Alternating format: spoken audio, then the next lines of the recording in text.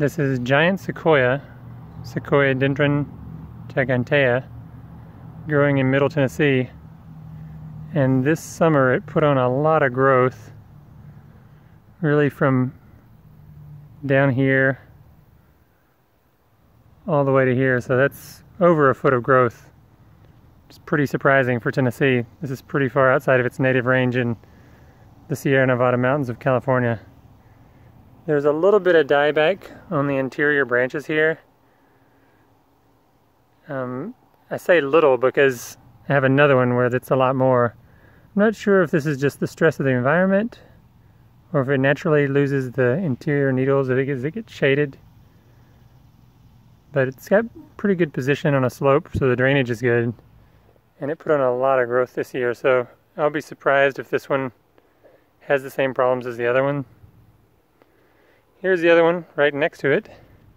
And it's got a lot more needle dieback in the interior of the branches. The, this year's growth is still green, but even some of those needles have uh, lost their color.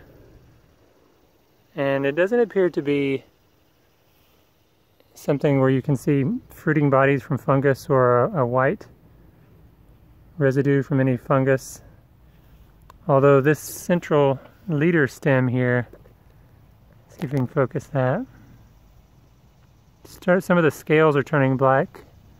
There's even a little yellow um, sap coming from a few of the scales interior.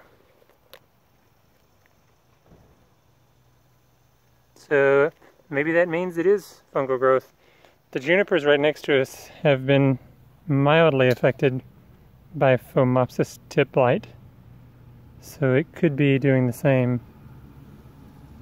I lost another giant sequoia. These are all three the Hazel Smith cultivar. So this is the second one that's looking bad. The third one, by comparison, looking pretty good and it put on a lot of growth. So it's kind of an experiment to see what it'll do next.